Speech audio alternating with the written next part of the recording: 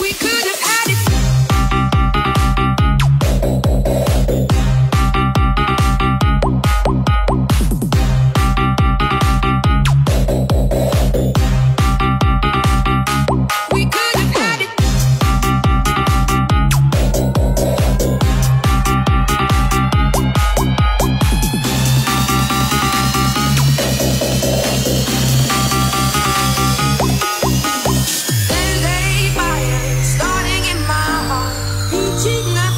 It's just bringing me out